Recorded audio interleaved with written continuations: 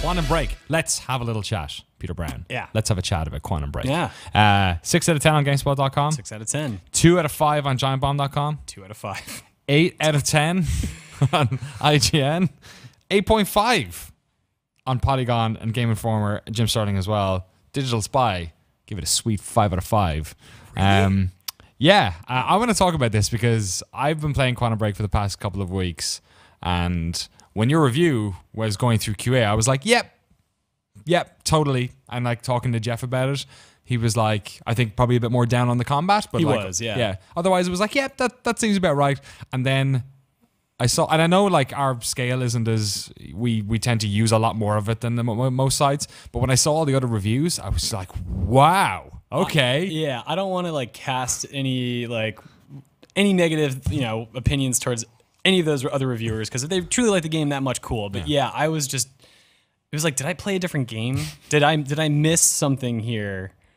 Uh, but yeah, I, I people are having very different reactions to this, and it's interesting to me that like I, I had spoken to Jeff a little bit about his opinion, but it was but it was mostly like the day before publishing the review because I was like, I'm really anxious. People are gonna get really upset with me, and I just need to know. Are you in line with me? Because if you're not, then I should be anxious. But Yeah. he was like, "No, I'm not." It's like, okay, I'm not alone. But then it turns out we're alone. Me and him are the two that are the outliers, and we work in the same building. And uh, I don't, I don't know I, what people see in this game. Like they, a lot of people described the similar, same problems that I had with it. And which are which are like. let's get into it a little bit for context for yeah. other people. I, I, I don't want to just rattle off a list. It deserves Yeah. more explanation. Um, so where would you like me to begin? Pick a pick Let's an aspect of the game, and I will tear it to bits. Okay, let's talk about the most the most important thing about the game, which is the movement, combat, moment to moment Yes. gameplay in terms of like what you're actually doing and controlling the main character. Yes, movement feels like you've got 20 pound weights on each one of your feet, or maybe like you're going through mud. Maybe that's more accurate. It is slow. It is unresponsive. It is loose.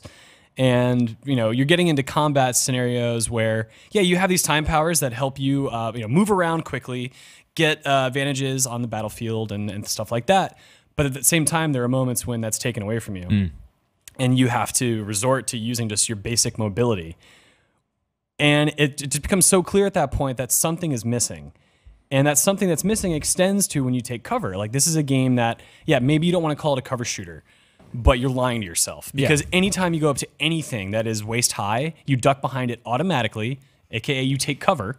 Um, Like most of the engagements in this game involve you taking cover, or if not, running from cover to cover. Like it is Right. absolutely a cover. shooter. Right. It's imperative because the only way to recharge your your time abilities, which allow you to do various things, Mm. is to take a break and let them. You know, it's a cooldown timer, that kind of Mm. thing. So, you know, and your health recharges as well. Same thing. So you just you go, you hide, you get some health back, you get your powers back, and you keep going.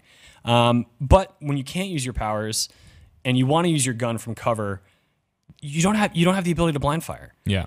you have to stand up no matter what to fire your weapon, therefore exposing yourself. I I'm going to pull no punches here. It is ridiculously stupid that that was a design decision that made it into this game. And I remember, I remember you said it to me, and I thought, "Oh, this never came up for me." And then later that day, three times, somebody flanked me, and I couldn't just shoot them crouching. I had to stand up and let eight people shoot at me. It was I like it was maddening. I don't even want to hear the argument that this game isn't designed to be a shooter Hmm. because then why the hell do I have guns and why the hell am I forced to use them at some point? And I also that happened to me way before I got any of the other powers, which kind of mitigate that, like the ability to like run fast. yeah, no, but no, but dude, later in the game there are these machines that literally strip you of your powers. right? Yeah, yeah, yeah. It's not even that you don't have access to new things. You don't have anything. You got nothing Hmm. but your guns and the fact that you have to get shot just to shoot somebody when you're trying to protect yourself. And I'm totally with you on the movement and like even the aiming, everything about it just feels like you know that Killzone thing. That's like the easiest Yeah. delta is that people say like Killzone you felt very heavy and the aiming was Yeah. was heavy or whatever. Um, I like actually for whatever reason I actually was fine with Killzone. I was fine with Grand Theft Auto 4, which is another one that people say. Killzone 3 was pretty good. right? but this one was something about it. Just feels yeah. It does Yeah. not feel like oh this was meant to be a shooter first. no, it's it's it's well, yeah. I mean, I don't think it is necessarily, but Right. a, that's a very strong component of it. And uh, the aim assist feature is turned on by default, and I turned it off. And Me I was like, too. Hmm. no, I need it. Like, I- I'm ineffective without it, and I don't think it's because of me. Like, I feel like it's because like the game presents you with scenarios with a certain level of stress and threat. You have to react within a certain amount of time, and this game just doesn't really afford you the ability to do so with any amount of skill. Yeah. you, so at that point, the auto aim just becomes like a thing you need. And the, the the powers themselves, although like you can sort of guess what they are. There's like a bubble shield which helps you regenerate. There's one that like stops them in a time bubble so that you can load them full of bullets. But like none of they all seem disparate. Like none of them connect to each other, or you can't really chain them in any sort of interesting way. I so I I think Jeff described a similar thing to hmm. me, but I I kind of disagree. Like I, I found a really good rhythm during combat. Um, wh- while you can upgrade your powers and the differences aren't incredibly noticeable, uh, when it comes to the moment to moment stuff of chaining different moves together, being able to increase the frequency with which you use an ability during a, a charge uh, made a difference for me. So I was able to you know zip across the field, cap a time shield, uh, cast a time shield, you know, put a bubble out there, shoot that guy when my shield ran out, zip somewhere else behind cover, and then you know just kind of like mix those abilities together. And Yeah.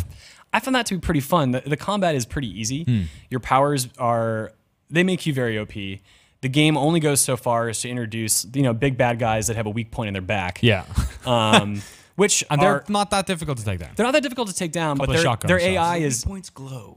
they don't, but they're bright. They're yellow. They're bright ye- yeah. Ah, okay. and they have the same uh, monarch logo on absolutely everything in this video. It game. is fun. Yeah, literally everything has a giant Um, logo on yeah. it. We're the bad guys. I know, Thanks. totally, yeah. Cool. Okay. yeah. Even Uh, the security guards have like these hoodies with M like sewn into Yeah, them. like what the hell? I hell? don't know. Maybe we're getting nitpicky here, but like No, we're not. No, we're not. I- That, that's hor. That's, dude. Come on. No, that's awful. it's like- not. It's not the real world. They're trying to present this really dramatic situation set in the real world where people actually have real life problems Yeah. that are a part of the grander struggle in this fantasy, and then they have goofy henchmen.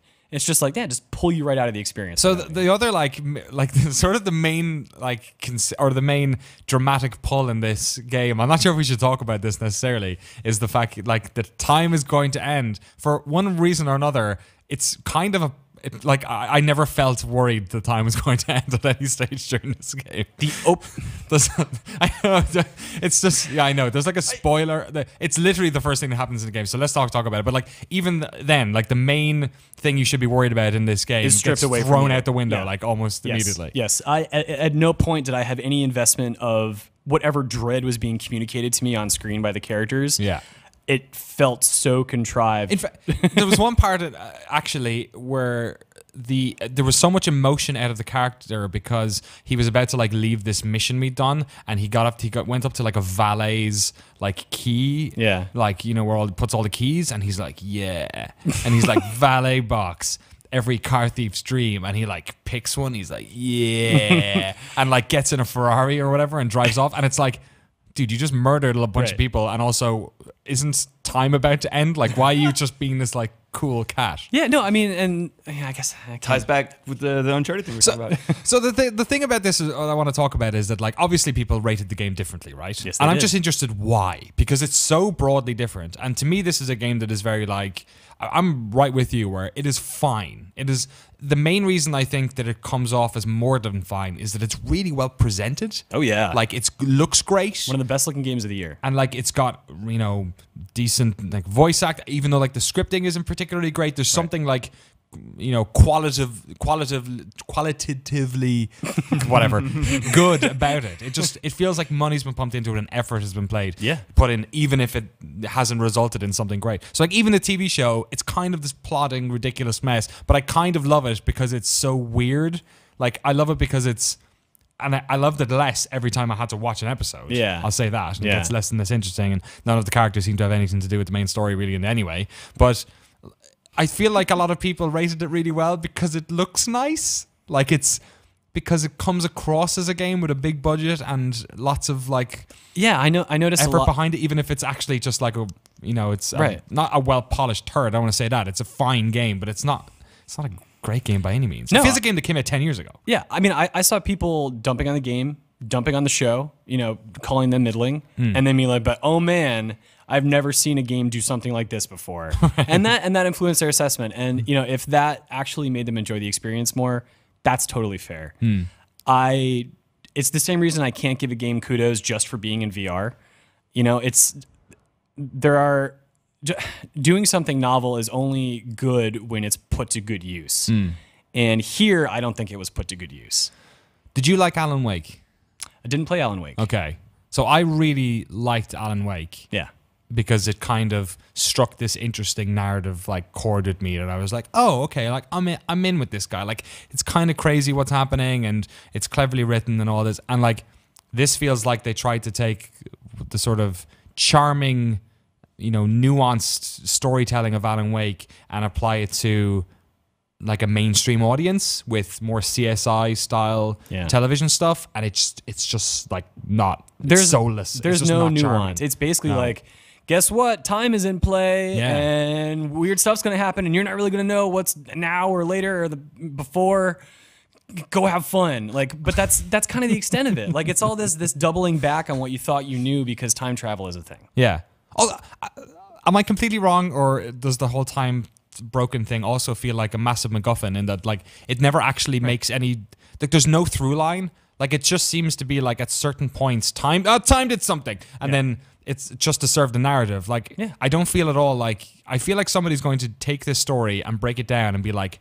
None of this has any consistency. like maybe I'm wrong. Maybe loads of thought went into it, but even now I don't like. I have no because I haven't completed it yet. I'm right. I'm Yeah. near enough the end, but like I feel like there's I don't have any clue what the rules of this world are. They it's rel- just like press Y here to make Right. the bridge go back so you can walk across it. But like why can't I do that everywhere then? Why does it only happen in places which are part of your platforming thing? Why, Like it's why can you only use your powers in some sections but not others? There were Hmm. times where I was in an environment looking for a clue and it was like, okay, the room is so big and I walk so slow, I'd love to zip over there. Oh, I can't use my powers now? Not because Oh, really? there's a device like in combat that, that negates it. The game just decides, yeah, you don't need those right now.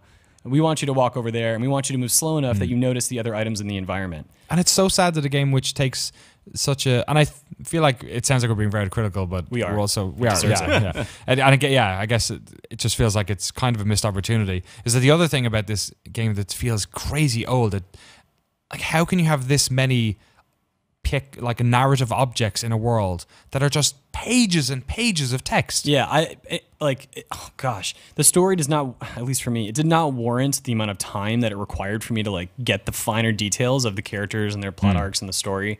It was to me just a ham-fisted way to take the characters from the show and put their stories into the game. Hmm. You know, apart from any sort of social or professional connections that they had to the main characters, like you'd find an email from the dude that's only in the show and it's forever long. you know? Yeah. and you read one and you're like, okay, that was kind of interesting. Oh, geez, there's like 10 more in this room. I think I'm going to move on. I think I'm going to walk away from that. Yeah. Uh, But then I talked to some people who were telling me, like, oh, did you find this one thing? Oh, it was great. And it's like, I, I believe it. I wish I had found that. But it got lost in a sea of dribble, Yeah. I thought. I also I'm a big fan of the Remedy TV show stuff they do. Yeah. and the stuff in this one just wasn't. I found like three of them so far, I Hmm. think, and yeah, it's just not great either. It's kind of like, oh, you guys are better than this, maybe, but Yeah, and I and I would really like to talk about the distribution of activities, as I constantly refer to it as. So this game is a TV show. This game is combat. This hmm. game is narrative sequences, and it is platforming. yes, and it's basically all divided evenly. Hmm. So the one thing in the game that it does incredibly well is well, not, maybe not incredibly well. The one thing the game does well is combat. Right, Second to that is the sort of the, the the storytelling stuff that happens b- between action sequences hmm. when you're walking with the character from one point to another. And even though you're not doing anything special, you're just walking. I found that to be a good break to just sort of like take in some exposition and, and dialogue yeah. between these characters. Very well produced those sections as well. Like there's Yeah. a reason why they showed basically that's all they ever showed in previews when Right. they were showing it at events for years. Right. and that stuff is cool. Yeah. But then, you know, you expect, okay, I just got through this story. I'm ready for more action. And then you got to do some platforming. And it's like, Hmm. oh, you got to find the dumpster to climb onto the roof, to jump over to the next roof, to cl- climb down the ladder, you know. And Make time go backwards before the building was built. Walk in and make time go forward. Done. yeah, but you only have five seconds to do it, and you have to wrestle with the horrible mobility controls to get Hmm. the thing done in time. But it's all it's also all scripted, so you can only climb certain objects. Yeah. Right. Yeah. Even though there's something that would make your path simpler to complete. No, this, this game is screwed up, man. Like. Yeah. Uh, there, there's one thing where you had to rewind time to make a van back out of a tunnel. So this, I was when you said that, I literally thought there's a part where yeah, I wanted to just jump on the van, but Yeah, no, I had you to do this whole thing to make there There is a van that is seven feet tall. You are a freaking time wizard. You've done. You've climbed on top of things taller than that in the game. You can't just climb up on the van. You have to reverse time so it can back up, so you can jump off of a roof to get on top of it. Yeah. Like illogical BS. I. I when a game does stuff like that, it, it to me it assaults my intelligence Right, yeah. and it assaults my time because it's like, look, I'm not here to do this basic shit. Yeah. Give me some, give me some, like, make me feel like you understand what makes a good game. Mm. Don't pad it out with things that nobody wants to do and nobody will believe is like a thing that has to be handled in that way. yeah. It's just, it's so padded with BS. Did you say insult your intelligence or assault your intelligence? I said assault. I was just, yeah, that's a much more powerful phrase. Yeah. Yeah, that's good. Seriously. It's like a writer or something. So if people want to see the full review, Alan Wake or Alan Wake, sorry, Quantum Break is out today. Quantum Wake. Quantum Break, yeah. Uh, uh, Quantum Break is out today. I, uh, I think it's going to be very interesting to see what like people who buy it. I'm looking at Metacritic user reviews are mostly 10. Really? Yeah. Well, like that's I know it's like been out for like six hours. Well, that's but- Xbox One owners who Right. this is like one of their only sort of big games that's coming Right. out, and it does look really good on Xbox One. Yeah, like for all the complaint, you know, And then the complaints we PC have, version, it's yeah. you know, the game looks great. It has some good moments, both Shoot- some the of the shooting story and the cool. gameplay. Yeah. Yeah. but like the the mesh that holds it all together is fractured in far too many places. It's just unreliable. It's a very widely linear game. Hey. Listen, Peter, the only thing I want to know uh, are there, and what is the quality of the time puns in the game? Oh no, Oh, I don't remember any. there's which- lots. Because really, lots, there, there's there ought to be. Yeah. Uh, we- Do they break Actually- the fourth wall and like wink at the camera? Because I don't remember any of that. We're running out of time. They Maybe that literally was- do that all the time, oh, man. There's but one- I'm not sure if they mean it half the time. There's one more point we have to address. Okay, The last fact last that- point. Other than time puns. The fact that this game is designed to provide multiple paths for you to pursue and thus encourage you to replay the game. yeah, the things that change are so minor Yeah. that again, it's like an insult to like you Game- as a person. game like, has the same ending no matter what. game it, yeah, Some characters are swapped out. Some yeah, but like, none of it, yeah, but none of it ties into like your story for the most part. It- it's just, oh, it's just trite differences that mean nothing. So there you go. Yeah, Quantum Break, six out of ten on GameSpot.com. Check out the review. It's a real fair game. Real fair, super fair. it's a super fair game. Uh, if you've played it yourself, let us. And time has passed, and you haven't just burned through it, and you're a fanboy. Let us know what you think uh, in the comments below. Uh, but yeah, very interesting to see see what the, the fallout will be from this one.